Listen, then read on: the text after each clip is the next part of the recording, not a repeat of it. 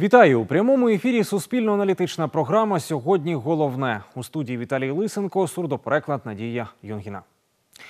Сьогодні вранці 10 робітників шахти Тернівська піднялися на поверхню. Про це Суспільному розповів гірник шахти Гвардійська Володимир Полунін. Наразі під землею у шахтах Кривбаза з Родкому перебуває 121 гірник. За інформацією учасників акції підземного протесту гірників шахти Жовтнева, адміністрація не повідомляє про готовність прийняти вимоги гірників. Як повідомив кореспондентам Суспільного прохідник шахти Родіна Олександр Потапенко, робітники підприємства отримали аванс, який нарахували згідно заявленому підвищенню з вересня. Натомість підвищений аванс отримали лише ті, хто працює на поверхні. Робітники, що працюють під землею, отримали гроші згідно відпрацьованим дням. За словами Олександра Потапенка, невідомо чи отримують за вересень зарплатню учасники протестів. Нагадаю, вчора гірники шахти Жовтнево повідомляли, що адміністрація Кривбазарі з Рудкому погрожувала не виплатити зарплатню. На сайті міської ради Дніпра оприлюднили новий проєкт рішення стосовно платних парковок. Згідно з ним, усі платні парковки міста планують розділити на три зони відповідно до розташування. Перша зона центральні вулиці та проспекти міста, вулиці Воскресенська, Шмітта, Старокозацька. Проспект Дмитра Яворницького, провокзальна площа та інші. Паркування у цій зоні коштуватиме 15 гривень за годину. Друга зона окреслена проспектом Пушкіна, вулицями Чернишевського, Пестера, проспектом Гагаріна, вулицями Січеславська набережна та набережна Перемоги. Водії, що залишатимуть автомобілі у цій зоні, платитимуть 10 гривень за годину. Третя зона усі інші платні парковки, які коштуватимуть 7 гривень. Про поки це регуляторний акт, остаточне рішення мають прийняти до 20 жовтня, розповіла представниця прес-служби Дніпровської міськради Анастасія Поповська. Голова громадської організації Громконтроль Денис Селін каже, нове рішення міської ради незаконне, як і попереднє.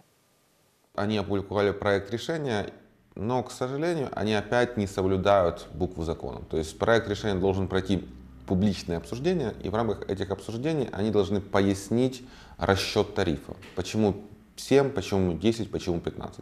На данный момент ни одного решения, которое выдержано букву закона по парковкам не существует. То есть у нас сейчас можно не платить за парковки. Если вы подойдете к инспектору, то инспектор напрямую скажет, что штрафовать за неуплату парковки он не будет, потому что у него нет на это законных оснований. Нагадаю, 26 серпня третій апеляційний суд Дніпропетровської області скасував рішення виконкому щодо встановлених раніше тарифів на платне паркування. У прес-службі міськради тоді повідомили, що суд визнав недійсними тарифи, які вже до цього втратили силу, і ціна на паркомісце залишається незмінною. Анастасія Поповська говорить, що по місту зараз продовжує діяти тимчасово встановлений тариф 10 гривень за годину паркування.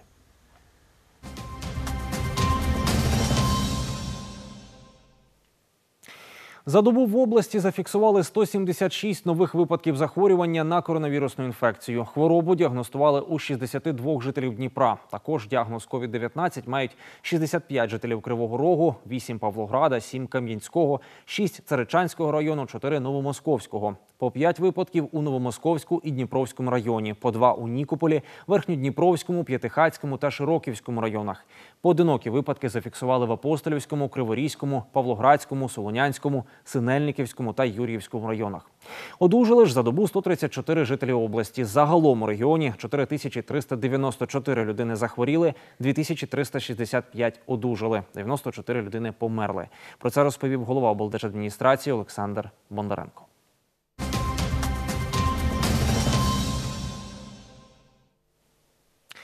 За шість років війни на Донбасі там безвісти зникли 700 людей. Таку статистику надає Червоний Хрест. Про те, що їх більше тисячі, говорить керівник харківської правозахисної групи Євген Захаров. Це цивільні і військові, люди, яких досі чекають удома і шукають їхні родичі, хто як може. Комісію, котра б на державному рівні сама збирала звідусіль та аналізувала інформацію, створили півтора року тому, і відтоді вона не пропрацювала і одного дня.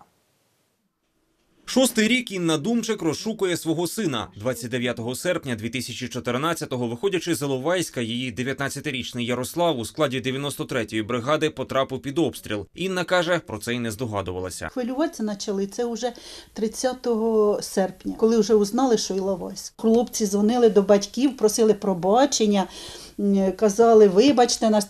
А він позвонив, мама, в мене все чудово, я скоро буду вдома. З 29 серпня телефон сина був поза зоною досяжності. А за кілька місяців після розстрілу колони під Іловайськом жінку повідомили, тіло знайшли. Результат експертизи засвідчив, ДНК загиблого бійця та сина Інни Думчик збігається на 99%. Поліція справу закрила. А після того, як тіло поховали, матері зателефонували. Жінка переконана, це був її син. У грудні 2014 року дзвонив Ярослав. Я швиденько пробила сама дзвінок. Дзвонок був із Свердловки Луганської області.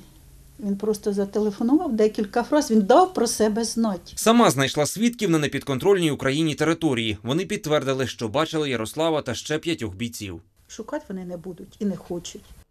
Тоді Інна звернулася до народних депутатів та міжнародних організацій. Червоний хрест досі шукає Ярослава, як і ще принаймні 700 зниклих безвісти на Донбасі, розповів Суспільному речник комітету міжнародного Червоного Хреста Олександр Власенко.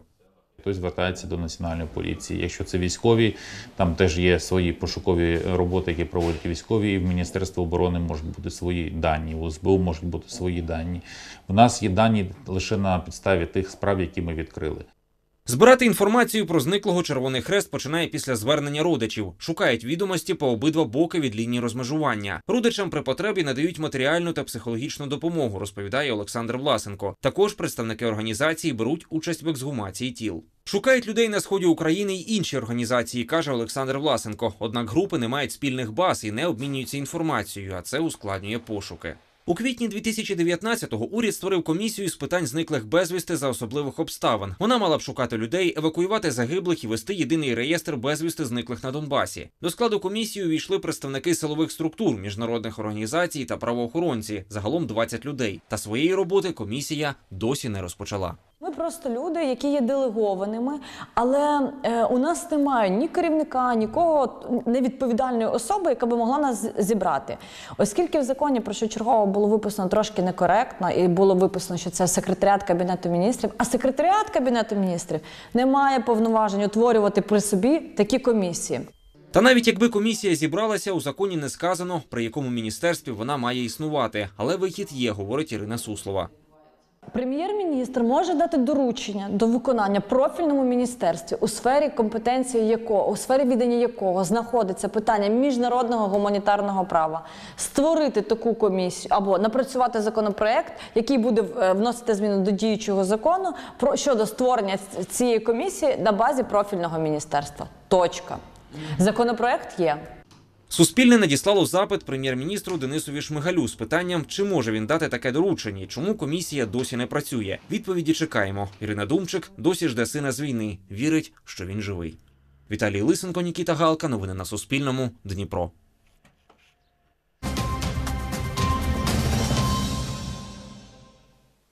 В обласній клінічній психіатричній лікарні облаштували рекреаційну зону у дитячому відділенні. Це ігрова кімната, у якій пацієнти відпочивають, навчаються. Також у ній проводять психотерапевтичні заняття. Такий простір зробив благодійний фонд Куба Буба. За словами авторки проєкту Влади Брусіловської, кімната допомагає дітям розвивати комунікацію. Благодійний фонд Куба Буба отримує гроші від окремих меценатів, приватних компаній та громадських організацій. М'яка підлога, підсвічена стеля та шафа з іграми. В обласній клінічній психіатричній лікарні облаштували ігрову кімнату для дітей. Вона поділена на дві зони – ігрову та навчальну. Останню облаштували столами з анатомічними пуфами. Тут дитина може навчатися, читати, малювати. Основная задача и идея, ам, с которой как бы я вот пришла да, в, в этот проект и с, э, м, ц- цели, ради которой я его основала, это идея изменить вообще пространство, а, которое нас окружает в больнице, кардинально поменять. Как следствие, меняется настроение, меняется энергетика, и это не может не сказаться благотворно на э, здоровье пациентов. Потому что они попадают в естественную для них игровую среду. Как правило, в наших больницах этому уделяется наименьшее внимание. То есть в основном весь фокус сделан на э, непосредственно лечении. А на том, что сама среда может оказывать терапевтический эффект, об этом э, особо не задумываются. В модулі використали два кольори – білий та жовтий. Завдяки білому кольору вдалося розширити простір. Жовтий створює у дитини відчуття тепла, говорить співавтор проєкту Валерій Кузнєцов. Особливу увагу при облаштуванні кімнати, розповідає, приділили підбору іграшок. Фантазии бурлили, и, и дети сами фантазировали. Дети сами создавали какие-то вот э, сюжеты, запоминали их, там, фото- могли фотографировать или еще что-то, играли здесь, да. Вот, и мы вспо- мы вспомнили свое детство, мы э, э, вспоминали о том, что игрались мы на подоконниках, э, вот как раз э, в- в- в этих вот растениях туда вставляли. Вот, вот эти вот элементы вот мы как бы сюда показали здесь в настоящий момент. На лікуванні у закладі перебувають 40 дітей з психічними хворобами. Така кімната сприяє розвитку у них сенсомоторних навичок та дає можливість лікарям налагодити комунікацію з пацієнтами, говорить завідувачка дитячого відділення Лариса Чудакова. нужна еще э, разрядка для ребенка, где бы он мог э, уединиться, где бы мог поиграть с мамой. Все дети с психическими расстройствами, они, с- у них отстают все сенсомоторные реакции, отстает моторика, они отстают в развитии, им Бывают страхи э, коммуникации, бывают страхи э, открытого пространства. Ребенок э, в замкнутом пространстве начинает общаться с психологом, с воспитателем, с тем же врачом, потому что не всегда дети вступают в контакт, то есть нарушена коммуникация. Подібні кімнати облаштували у медичних закладах Києва, Харкова та Одеси. Всього в Україні їх шість. Вартість такого ігрового мотуля від 5 тисяч євро. Яна Стойкова, Ольга Кухарєва. Новини на Суспільному. Дніпро. Зараз до ефіру доєдналася Олена Федоренко. Розкажи, будь ласка, про що сьогодні говоритимете у продовженні випуску.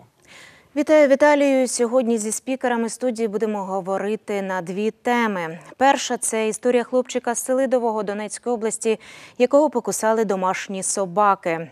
З цього приводу будуть е, коментарі волонтерки, яка допомагала родині дворічного Єгора увесь цей час, активістки, яка пропагує культуру собаківництва, а також юриста. У другому відрізку ефірного часу спробуємо розібратися, чому Дніпропетровщина лідирує серед інших регіонів країни за кількістю переривання ранньої вагітності.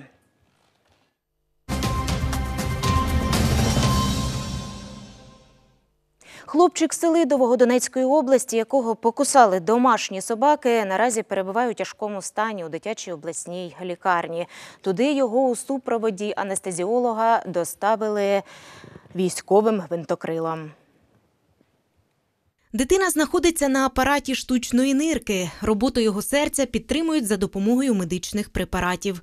Хлопчик не може самостійно дихати. За словами лікарів, значні ушкодження викликали у дитини важкий шок та порушення функцій життєво важливих органів. Дитині видалили пошкоджені тканини та відновили артерію. Зараз лікарі проводять антибактеріальну терапію, аби запобігти розвитку інфекційних запальних процесів, які бувають після укусів. Поліція за цим фактом відкрила кримінальне провадження за статтею 166 Кримінального кодексу України злісне невиконання батьками своїх обов'язків щодо догляду за дитиною, яке спричинило тяжкі наслідки. Правоохоронці вилучили відеозапис з камери спостереження за місцем проживання родини. За словами речниці поліції Донеччини Олександри Гаврилко, сусіди про цю родину говорять добре. Слідчі опитали лікарів та батьків, призначили проведення судово-медичної експертизи. Як рятували дворічного Єгора усією країною у ході телефонної розмови розповіла волонтерка, яка допомагала родині хлопчика. Ребенок остается э, в крайне в тяжелом состоянии, как бы доктора делают все возможное. Вот мы все возможное также само закупаем, то, чего нет, находим в других городах, как бы препараты, там, чего нет, не было вчера аппаратуры там специальной для отсоса из ран. Вот вчера он также был закуплен для этого ребеночка. Люди как бы переводят, как бы мы уже сбор даже закрыли, потому что мы считаем, как бы на данном этапе, как бы на лечение ребенка хватит. Вот помога, э, помогали люди, звонили со всей Украины, э, за что мы им очень благодарны. Благодаря людям, как бы у ребеночка все есть и закупается все самые лучшие препараты, то, чего нет в больнице, как бы закупаем все самое лучшее. Заходила к Егорке, ну, ребенок остается крайне тяжелый, сейчас ему делает диализ, вот э, на искусственной почке, ну, это искусственная почка, переливание крови ему делают. Родители находятся в больнице, ну, не в реанимации, а в больнице мама находится. Тож, що могло стати причиною нещасного випадку? Чому домашні улюбленці напали на дворічного хлопчика? Про це сьогодні будемо говорити разом із нашою спікеркою. Знайомтеся, нею є активістка, яка пропагує культуру собаківництва та відповідальне утримання собак своїм власним прикладом. Катерина Головачова. Вітаю вас, пані Катерино. Добрий вечір. Добрый вечер. Тож, як би ви прокоментували конкретну ситуацію? Очень трудно судить, что произошло на самом деле, но я уверена, что беда в том, что собаку не воспитывали, не социализировали э, двух собак. А, Иногда люди заводят собак себе для охраны. Они считают, что достаточно того, чтобы а, кормить собаку и поить ее, и она будет хорошим охранником. Это абсолютное заблуждение. Для того, чтобы собака была хорошим охранником, у нее прежде всего должно быть иде- идеальное воспитание, и она должна быть обучена. И обучена кусать не свою семью, а свою семью собака кусает из-за отсутствия, к сожалению, воспитания или ошибок в воспитании. Хлопчика із Селидового покусали німецькі вівчарки із собакою такої породи. Ви завітали сьогодні до нашої студії. Давайте познайомимося. Хельга, сидеть. Сядь.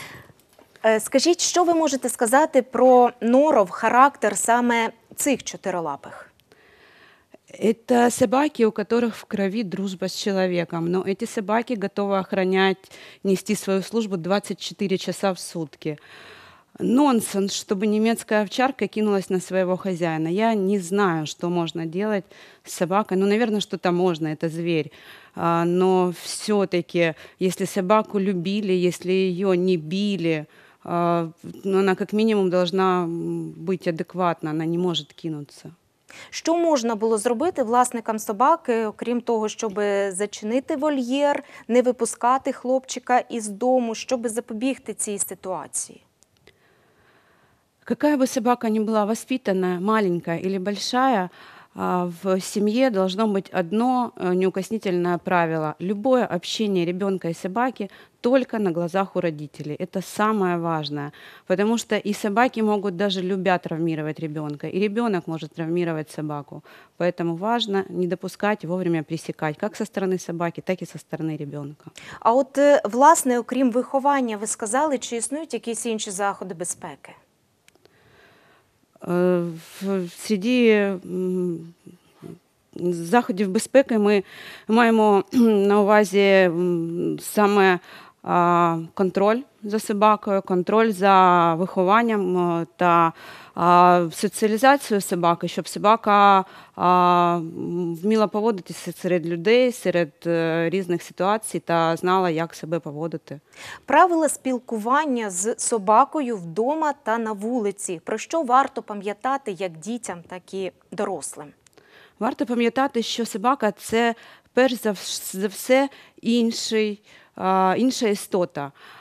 Дехто може відноситись як до людини, до собаки, як до дитини навіть, але перш за все це звір. І ми маємо бути дуже пильними щодо її дій. Якщо собака вже вирівняла хвіст, або там дивиться якось, е, фокусується на когось, це вже е, визначає, що собака готова кинутися. Якщо таке є, а собаки бувають різні, характери у собак дуже різні, як і у людей, то хазяїн це повинен побачити раніше, ніж е, собака зробить.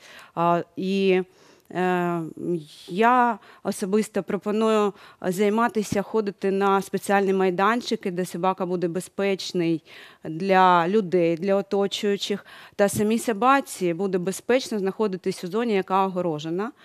Та а, собака не, не вискочить на дорогу, наприклад, або до собаки не кинуться діти, які там, наприклад, їдуть на велосипеді, катаються. Таким чином ми диференціюємо різні е, відпочинки так, дітей та собак окремо від е, одне одного е, на різних ділянках. Тому я пропоную створювати майданчики для собак. Про цей ваш проект ми ще більш детально поговоримо. А От, власне, собак яких пород ви би рекомендували заводити вдома, де є діти, а яких категорично ні?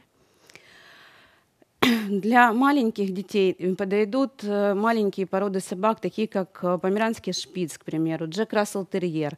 Здесь надо учитывать еще и темперамент самой семьи. Есть семьи, которые домоседы, надо брать собаку более спокойную. Есть семьи, которые любят активный отдых, тогда надо брать собаку, которая смогла бы быть компаньоном в их семье.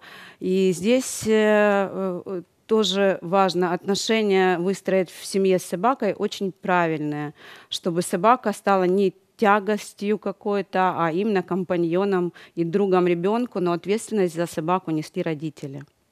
Е, Тобто найдружелюбніша собака за статистикою може також проявити агресію Э, Она может даже не агрессию проявить, что-то сделает ребенок больно собаке. У нее может быть просто защитная реакция. Ам, Так же, как у человека, когда ему наступили на ногу, он может случайно в ответ дать локтем. Это просто рефлекс. Скажіть, якщо з часом, з віком, домашній улюбленець починає проявляти агресію, що необхідно робити, як його виховувати, як діяти далі? Перш за все, потрібно е, позвати кінолога, який буде розбиратися з причиною агресії. Видів агресії нараховується декілька. Це може бути трослива агресія. Це може бути агресія до їжі, наприклад, чи до якихось речей. Ну, най, найчастіший варіант, з яким я дуже часто маю справу, це агресія, коли собаку проганяють з ліжка.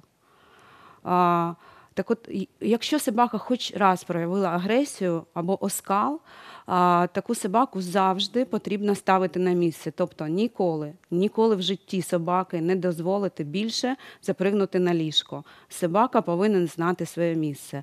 Але якщо собака не проявляє агресії, то ну, і якщо дозволяє якісь моральні рамки, то вона може бути на ліжку, і, наприклад, ця собака спить на ліжку.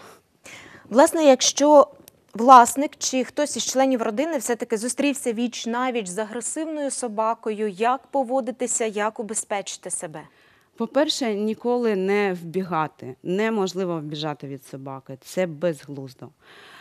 Треба, перш за все, стати до стіни або до чогось, що захищає спину, і витягнути вперед якусь річ: сумку, куртку, зонтик. Або навіть е, руку, якщо ну, казати так, що найменше зло, що може зробити собака, там кусити за руку, е, це краще, ніж за обличчя чи іншу частину тіла. Справа в тому, що собака кидається, е, будь-яка собака кидається на те, що попереду.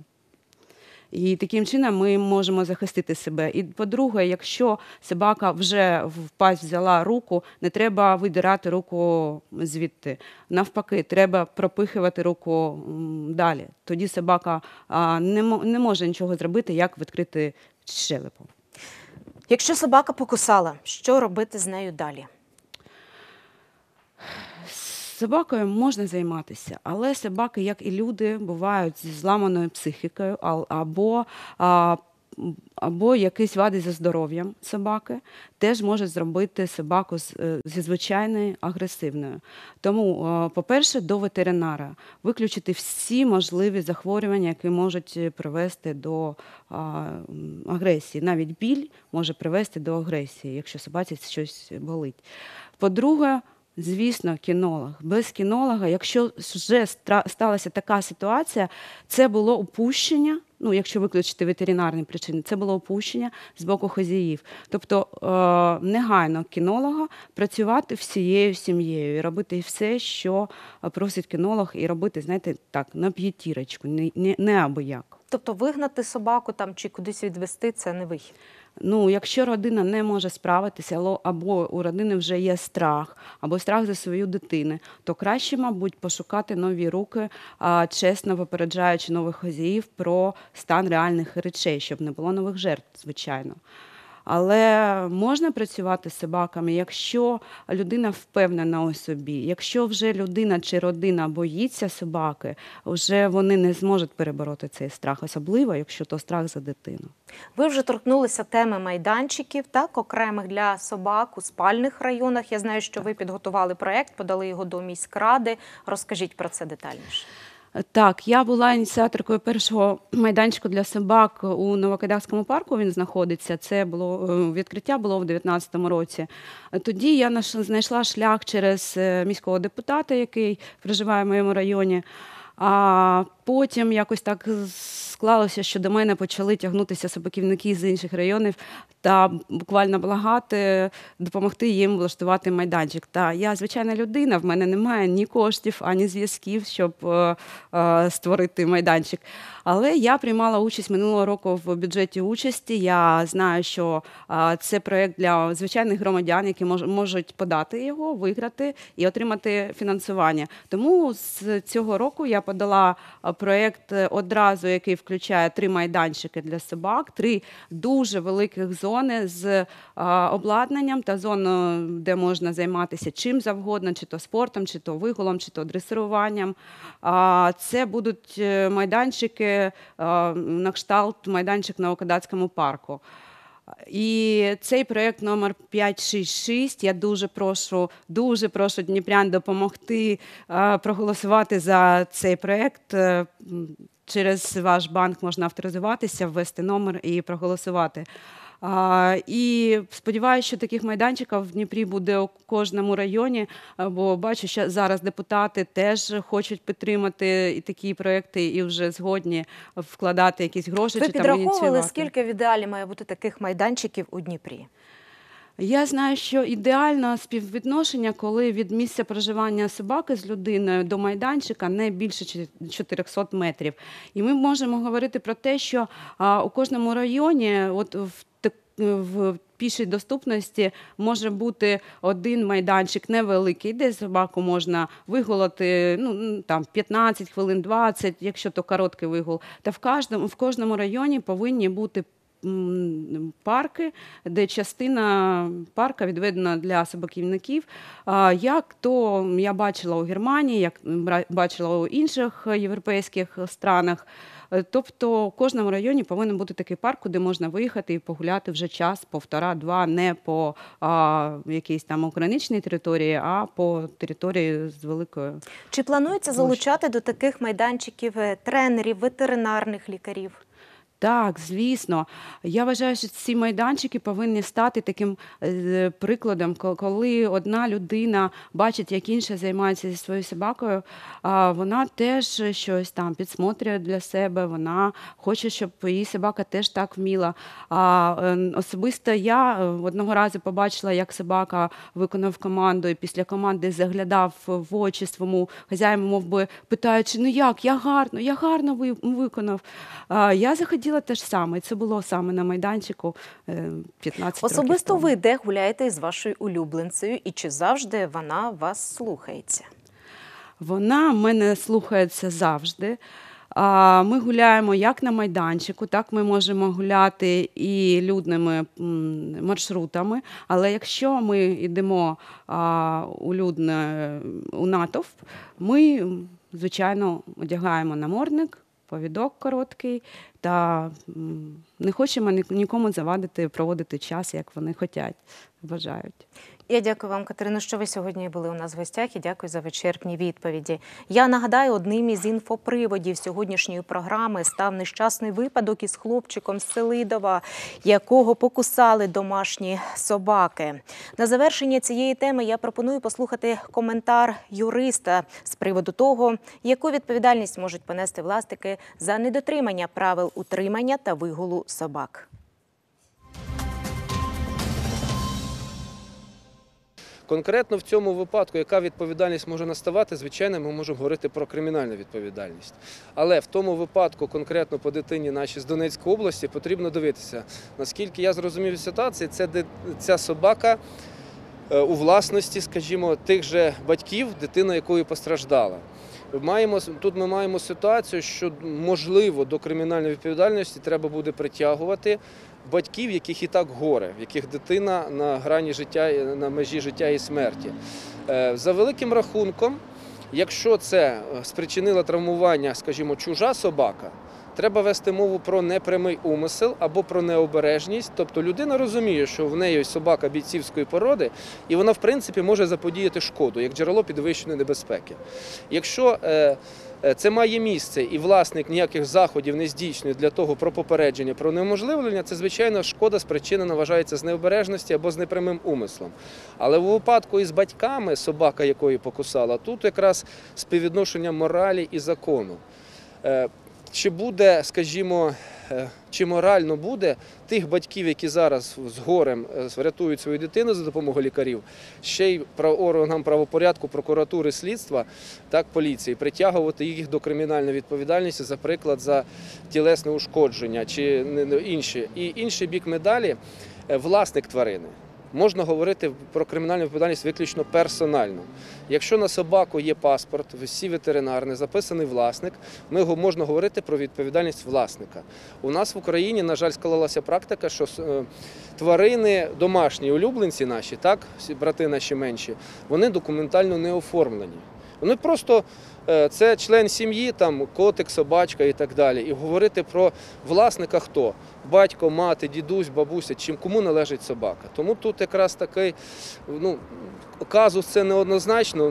Можливо, я думаю, що треба вести мову про так званий казус безвинне заподіяння шкоди. Ніхто не очікував, що собака по цій ситуації, якою мовили, дитина раніше гралася, воно потім раз і причинило їй тілесні ушкодження. Дай Боже, щоб дитина вижила без всяких моральних травм. Практика діяльності правоохоронних органів, прокуратури, суду, поліції йде таким чином, що ця справа ну дуже проблемна. Наприклад, що значить з непрямим умислом? Власник тварини чітко усвідомлює, що в нього є джерело підвищеної небезпеки, собака бійцівської породи. Він передбачає, що вона в принципі може щось спричинити. Він усвідомлює це, він передбачає можливі наслідки в вигляді ушкодження або смерті, не передбачає, але свідомо їх допускає, що немає шиї, немає намордника, вона не прив'язана, не в вольєрі. І тут треба вести мову або про е, необережність, або про непрямий умисел. Але з точки зору вже діяльності. Правоохоронних органів ці справи є надзвичайно проблематичними. Наскільки морально ще притягувати до кримінальної відповідальності е, батьків чи близьких родичів осіб, е, дитина чи хтось інший, якої постраждали. Тобто, ну двічі бути покараним життям, горем і ще й законом. Тут важко, звичайно, говорити. А ми продовжуємо. Далі поговоримо про наступне. 26 вересня у світі відзначають День контрацепції. З цього приводу на офіційній сторінці у Фейсбук обласного центру громадського здоров'я з'явилася наступна статистика. На Дніпропетровщині і в Україні в цілому поширеним способом регуляції народжуваності є штучне переривання вагітності. Так, у 2019 році на Дніпропетровщині кількість абортів досягла сумної позначки 8301, що складає 11 випадків на одну тисячу жінок репродуктивного віку від 15 до 49 років. Дуже непокоїть той факт, що 693 жінки, які зробили аборт, вагітніли вперше. Минулого року штучно перервали вагітність 6 дівчат віком до 14 років, 88 дівчат віком 15-17 років, а також 230 дівчат 18-19 років. У Дніпропетровській області показник вагітностей та абортів серед дівчат-підлітків майже вдвічі вищий, ніж в інших регіонах.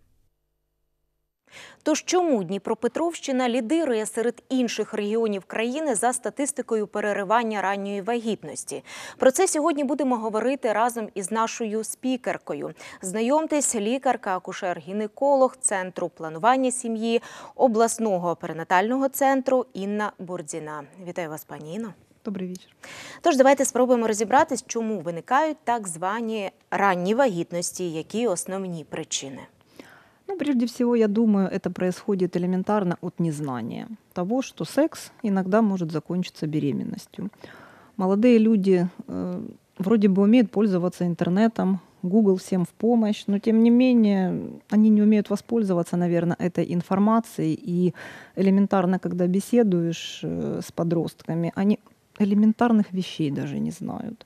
Поэтому я считаю, что именно на первом месте какое-то незнание их, недоработка тех же родителей, все-таки школы не дают информации, ну и сами, наверное, не знают. Плюс, э, я думаю, еще престижно заниматься сексом в раннем возрасте. Многие компании э, Тобто це активно да, обговорюється. то есть чем ты кажешься, то есть если ты занимаешься уже сексом, да, ты уже взрослый, значит. Это тоже, я считаю, немаловажно для подростков. Ну, а даже если они и знают, иногда элементарно в нужный момент нет средства контрацепции. Поэтому Что, что есть, то есть. От у процентному співвідношенні скільки ранніх вагітностей закінчується абортами, якщо говорити про наш регіон чи Україну в цілому, яка Ну, у вас є статистика? Четкой такой статистики я вам именно цифры не дам, но я думаю, что процентов 70 все-таки заканчивается абортами. Мало кто. Рожают в основном девочки все-таки уже лет 16, 17, и меньше 15 лет все-таки заканчивается прерывание Якими можуть бути наслідки ранніх абортів? Последствия абортов, ну, чаще всего, это, конечно же, бесплодие. То, что всех всегда пугает, э, и то, к чему это приводит. Э, Помимо бесплодия у нас существуют проблемы невынашивания потом последующих беременностей, инфицира- инфекции могут элементарно тоже осложниться. То есть а- аборт это все-таки операция. И эта операция непростая, она может э, и кровотечениями закончиться, и бывает даже такое, что э, удаляется матка, если женщина кровит, или такая инфекция, которая не поддается лечению, и девочка в дальнейшем уже просто не может быть мамой. Гормональные нарушения очень часто у них возникают, и ну, а впоследствии они все равно приводят потом к бесплодию, невынашиванию. Ви сказали, що безпліддя це одна із основних е, причин переривання ранньої вагітності. От у процентному співвідношенні скільки е, жінок Дніпропетровщини не може мати дітей саме через це? Э, Смотрите, бесплодие все-таки это более такой комплексный диагноз. Четкой одной причины не существует. Если уже женщина обращается с проблемой бесплодия, чаще всего это две-три причины идут э, в комплексе. И скажем так, э, при сборе анамнеза у каждой, наверное, третьей, пятой женщины всегда есть прерывание первой беременности. Ми з вами говорили про статеве виховання школярів, і зараз вайбером у нас на зв'язку є дитячий психолог Лариса Сириця. Я би хотіла задати це запитання і їй. Пані Ларисо, от е, з вашого власного досвіду, я знаю, що ви довго працювали дитячим психологом. Яким є статеве виховання на сьогодні? На жаль, е, статевому вихованню на сьогодні уділяється дуже мало часу в школах. Я сьогодні е, провела опитування серед 16, ем, е, 16 е, е, ш- школ. Е, Я тільки набрала, подзвонила своїм знайомим вчителям, психологиням і спитала, як часто проводяться уроки статевого виховання в їх школах. І тільки 16 дві школи мені е, відповіли, що декілька таких ем, мероприятій було проведено у тому році. В цьому році е, ще нічого не проводилося. То з цього ми можемо зробити висновок, що не дуже багато уділяється питань, е, е, е, не, не дуже багато Пані Ларисо, ви можете розмовляти тією мовою, якою вам зручно. Так. Добре. Не так часто уделяется внимание а, ученикам для того, чтобы донести им информацию о том, как нужно себя вести а, в возрасте у 14-15 лет, для того, чтобы а, вести э, правильную жизнь, да, а, когда нужно на- начинать э, половую жизнь, и насколько это вредит здоровью ранее половая жизнь, и что нужно эм, гигиенические правила а, определенные да, выполнять. А об этом не говорится. 5-6 лет назад в школах проводили активно встречи с детьми, собирали отдельно девочек пятых, восьмых классов, а, отдельно мальчиков, и проводили первые беседы, так чтобы детей а, не смущать, а, и доносили им нужную информацию о том, как правильно себя вести. Но нынешняя ситуация значительно изменилась не в лучшую сторону. К сожалению, дети черпают информацию из интернета, из каких-то других источников, и, наверное, Судя по тому, что происходит, что растет массовость абортов детей, девочек э, в возрасте от 15 лет. В частности, в прошлом году по статистике 2000 абортов в Украине было сделано. А это от 15 лет и 80 от 14 лет. То есть э, э, Соответственно, информация такому количеству детей не была донесена. Но это официальные данные, а по-видимому цифры будут больше. Пані Ларисо, скажіть, ранні вагітності, ранні аборти, на вашу думку, це проблема соціуму, виховання чи тієї компанії, куди потрапив підліток? Наверное, это все в одном. А, Сначала родители не доносят нужную информацию ребенку в процессе взросления, не рассказывают девочкам о том, э, какую ответственность девочка несет, вступая в половую связь а Что это и беременность возможно, это инфекционные заболевания, и это и фрустрация э, нервной системы ребенка. А, Естественно, компания, в которую попадает ребенок, он получает информацию от таких же сверстников, которые недоинформированы. И они делают свои выводы, э, пользуясь той информацией, которая льется с голубых экранов, из интернета и так далее. А, и, естественно, школы, которые должны доносить информацию детям, должны их воспитывать, а, их моральные, этические качества, школы сейчас не дорабатывают. Вы знаете, я хотела бы зацитировать Василия Сухомлинского, который в свое время сказал, что а, мы можем детей научить многим наукам в школах, и мы можем дать им хорошее образование, но мы не э, можем их научить а должны бы научить стать хорошими э, отцами и матерями, мужьями и женами, и себя вести правильно по отношению к противоположному полу. Дякую вам за таку влучну цитату. Пані Ларисо, от власне ранні вагітності, е, аборти. Чи е, були на вашому професійному шляху такі клієнти, підлітки, і наскільки важливою є тут психологічна підтримка?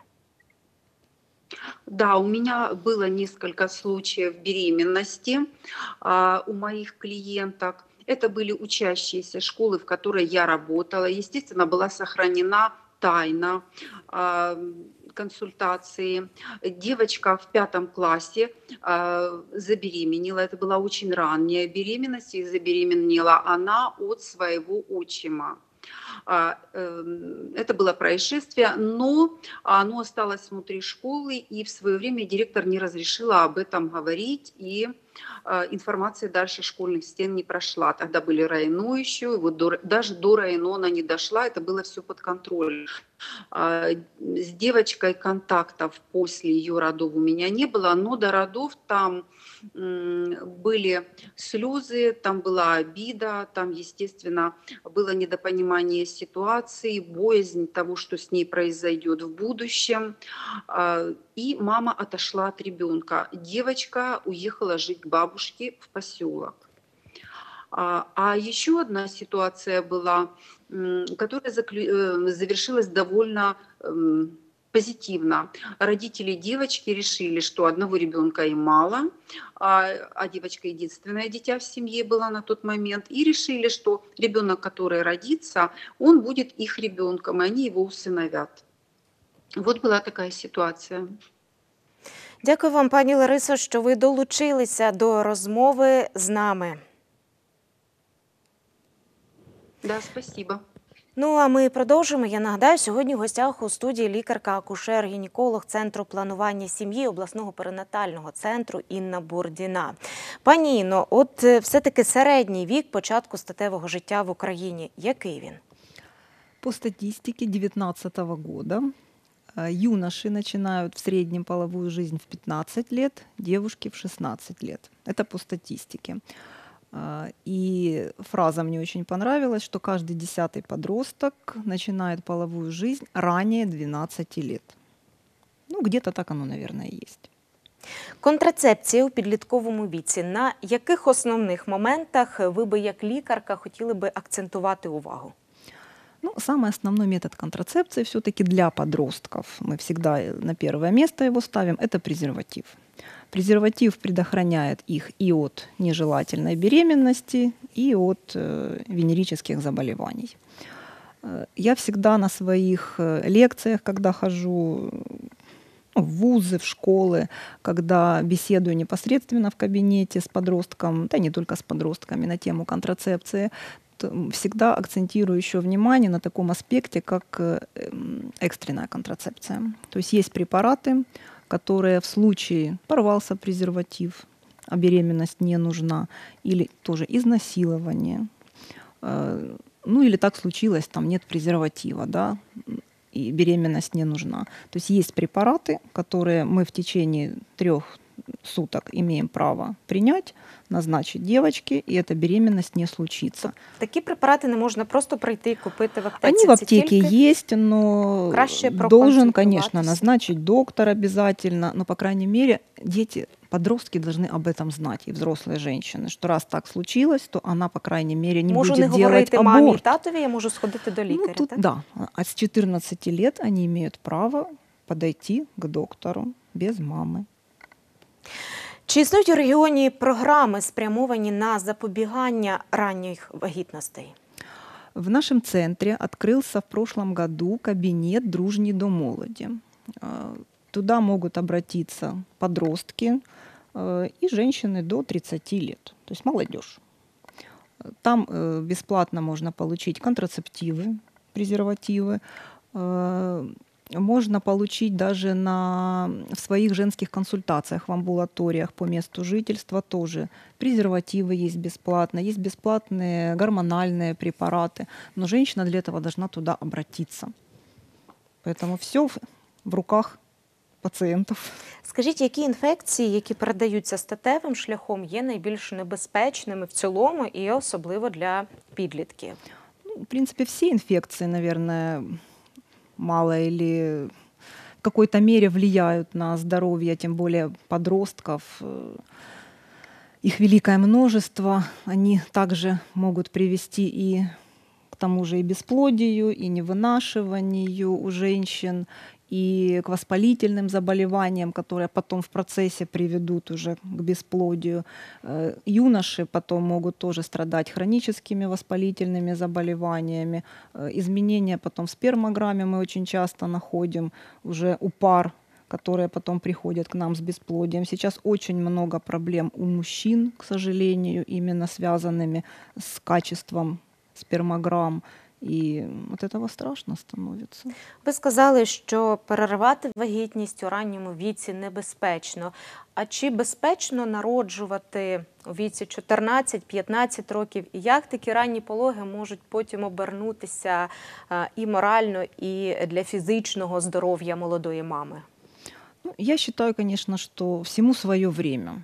Все-таки ребенок рождается, да, он в определенный момент должен научиться держать голову, он в определенные сроки должен поползти, сесть, пойти. То есть мы же не заставляем ребенка в три месяца пойти, да, или он не пытается в три месяца это сделать.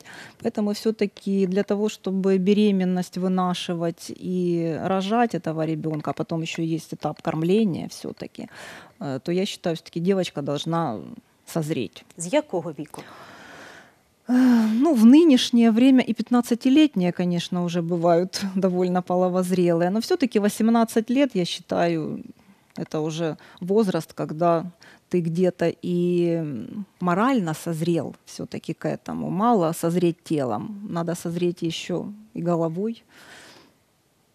Наймолодша мама в історії е, центру планування сім'ї. Е, Хотілося би почути якийсь такий приклад чи навпаки антиприклад для наших юних телеглядачів. Ну, приклад не, не приведу, э, но было время, когда я работала в родильном доме перинатального центра, это, наверное, был 2004 год, и у нас была девочка, которая родила в 12 лет. Молодой человек, то бишь папа, ему было на то время лет 15-16. Вот у нас была такая пара.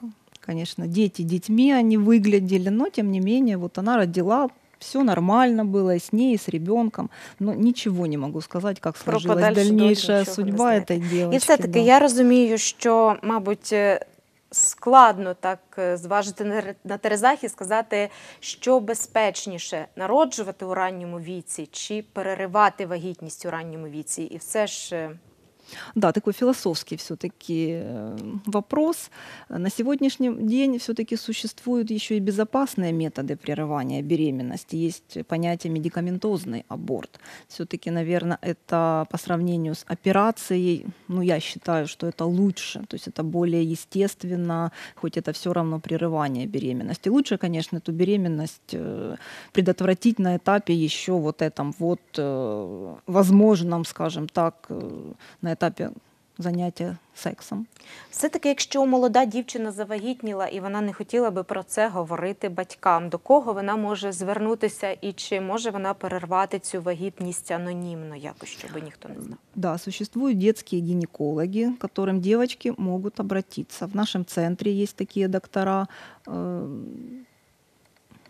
э, Анонимно они а, могут обратиться, а уже непосредственно доктор им все расскажет, как эта процедура проходит. Но чаще всего они все равно приходят с мамами. Все-таки но Ви- имеют право. Ви сказали медикаментозне переривання вагітності. От е, м, до якого часу, до якого сроку його можна робити? Ну, до шести недель можно. Вот самое э, такое, что хотелось бы правильно, психолог сказала, что э, начинать работать с детьми нужно с раннего возраста. И мне кажется, вот половое воспитание все-таки должно проводиться в школе не в 16 лет, когда они уже активно живут половой жизнью, а, наверное, начинать, э, может быть, даже с ранних э, каких-то классов, давать им элементарные понятия о гигиене, как правильно даже чистить зубы, тоже надо знать. Они должны э, знать э, гигиену и мальчики, и девочки. Может быть, на определенном э, этапе, вот э, когда они в подростковый возраст вступают, да, там стесняются где-то, пусть эти э, занятия будут отдельными, но они должны знать анатомию. Элементарно взрослые женщины приходят, они не знают анатомию, они не знают менструальный цикл, они не знают вообще о себе ничего, не говоря уже о том, что они должны знать еще и о противоположном поле, о их физиологии и так далее. Точно так же и мальчики. Они должны элементарно знать свою анатомию, а потом уже анатомию своей возлюбленной, для того, чтобы как-то... Поэтому Ми это все впродовж должно ефіру по накатанной идти. Говоримо про те, що переривати вагітність у підлітковому віці небезпечно, а у дорослому житті, у віці репродуктивному. И у дорослому небезпечно. Те же осложнения бывают и у взрослой женщины все-таки. Те же инфекционные какие-то осложнения могут быть, те же гормональные нарушения очень часто бывают. У многих женщин есть психологические нарушения, она испытывает чувство вины потом после этого аборта. Вот э, у меня даже бывают э, женщины, которых я потом к психологу направляю.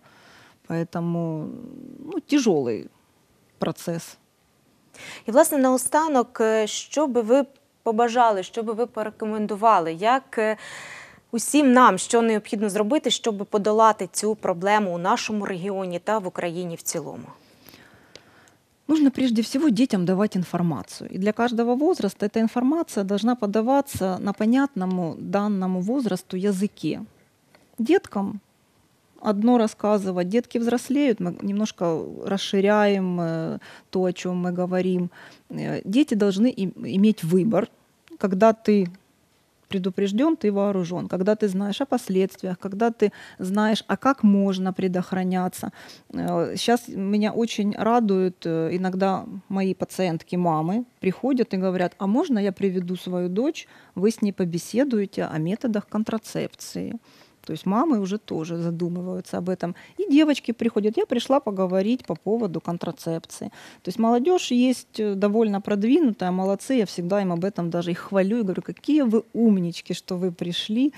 И Они слушают, и потом я им говорю, вы послушали, определились, придете, я вам по конкретному методу расскажу еще раз.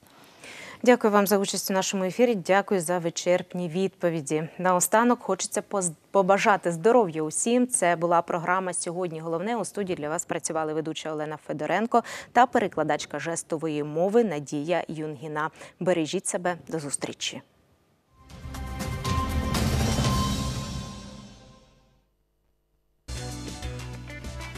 Ми ЮА Дніпро, філія Суспільного мовника України. Ми єдине медіа, що належить громадянам, бо отримуємо фінансування за рахунок ваших податків. Жодні комерційні чи політичні інтереси не можуть впливати на контент Суспільного, тому нам можна довіряти. Ми працюємо для жителів Дніпропетровської області, щоб надавати достовірну та збалансовану інформацію без маніпуляцій про події в регіоні. Ми завжди поруч. Дивись, слухай, підтримуй Суспільне Дніпра.